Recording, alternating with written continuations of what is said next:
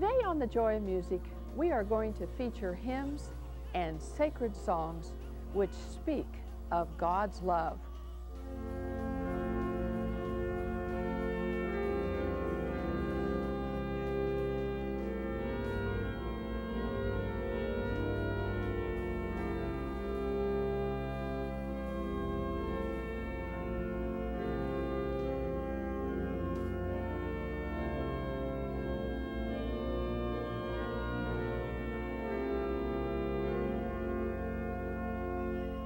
The grandson of the famous evangelist Jonathan Edwards, Timothy Dwight was chaplain of the American forces under George Washington.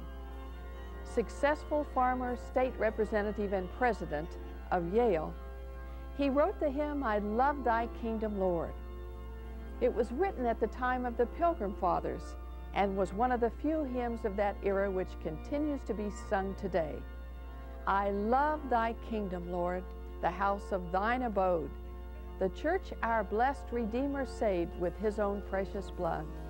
I love thy church, O God, her walls before thee stand, dear as the apple of thine eye, and graven on thy hand.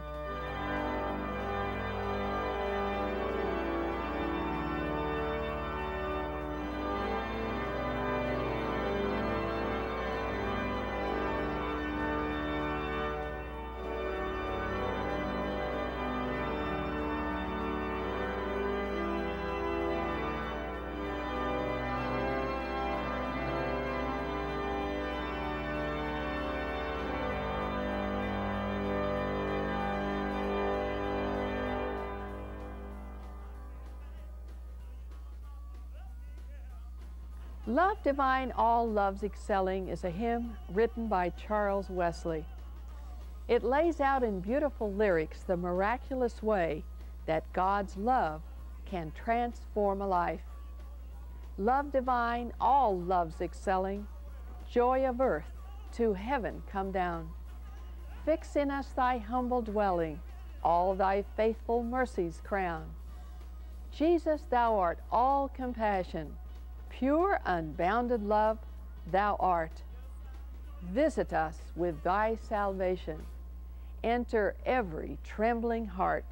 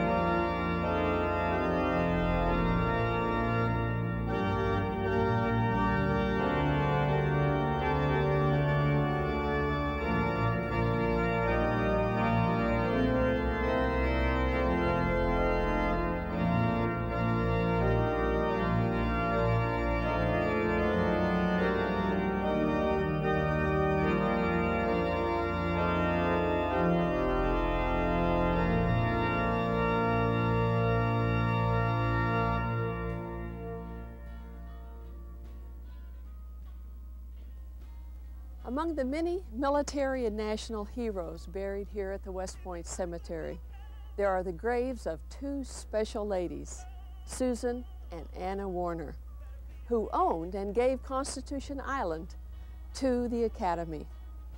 Susan was a novelist and writer, and Anna, who loved the Bible, used to row across the Hudson River to teach the cadet Sunday school class. But it was Anna who wrote the very famous yet simple hymn, Jesus Loves Me. This I know, for the Bible tells me so. Little ones to him belong. They are weak, but he is strong.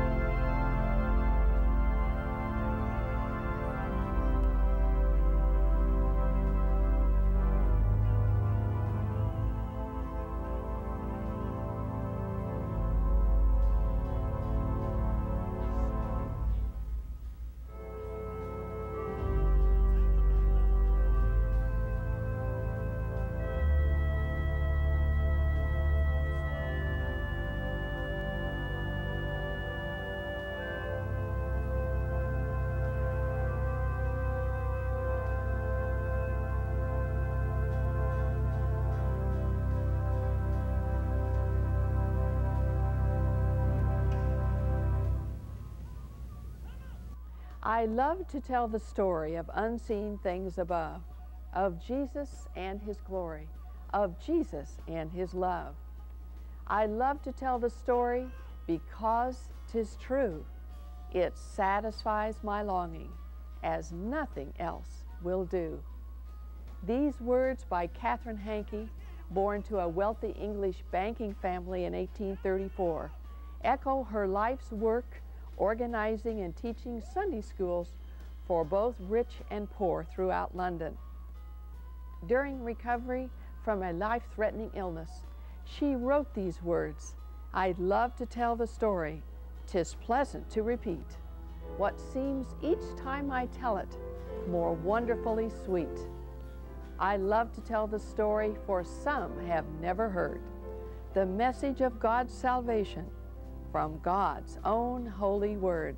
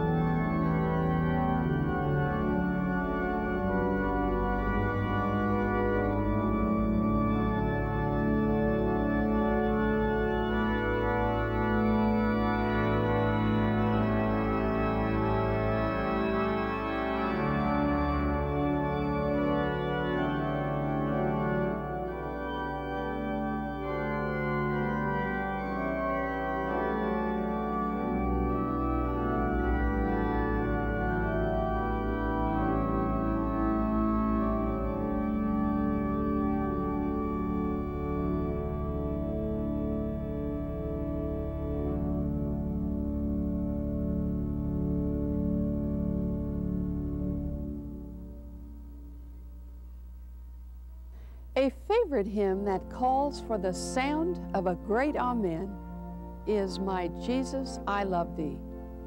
My Jesus, I love Thee. I know Thou art mine. For Thee all the follies of sin I resign. My gracious Redeemer, my Savior art Thou. If ever I loved Thee, my Jesus, tis now.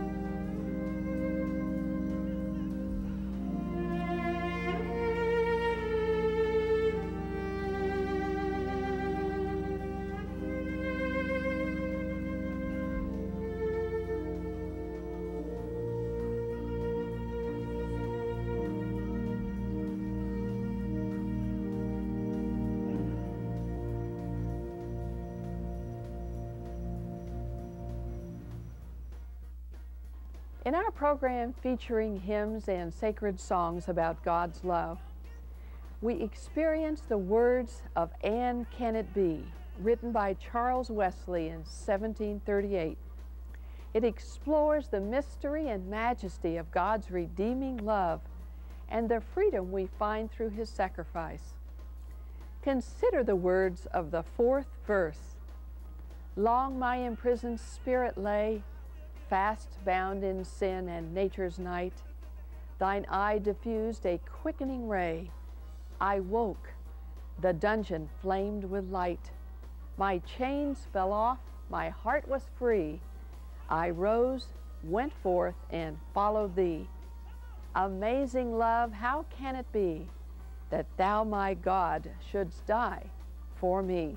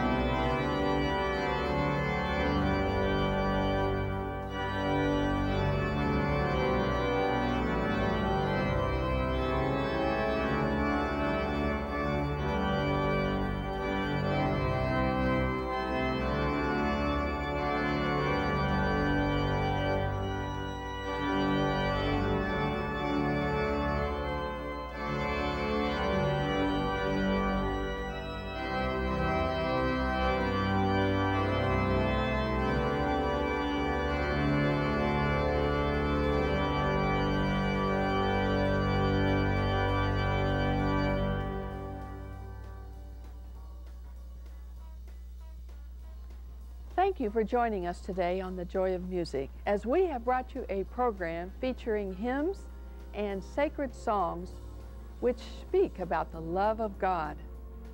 We thank you for joining us and we look forward to seeing you again next week on The Joy of Music.